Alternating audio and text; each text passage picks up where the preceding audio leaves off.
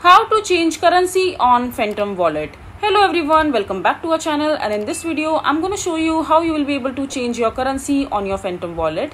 So first of all just open your Phantom wallet and after that just simply log into your account using your credentials and once you are logged in into your Phantom wallet account just simply click on the swap icon from the home screen itself so changing the currency in your Phantom wallet or any other wallet that you are using for exchange of cryptocurrency or any other thing, you just have to swap the currency within uh, the wallet using the swap option because changing currency means swapping the currency within the wallet or the application that you are using.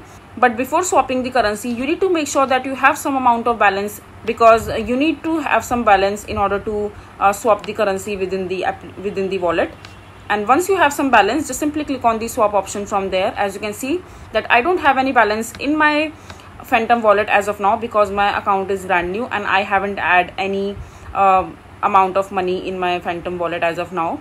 But if you have it just simply click on swap option from there. And after that you will be able to see the swap token that is available. Just simply click on the drop down menu here. And, and after that just simply search for the uh, token or the currency that you would want to swap as you can see that the Solana has already been selected.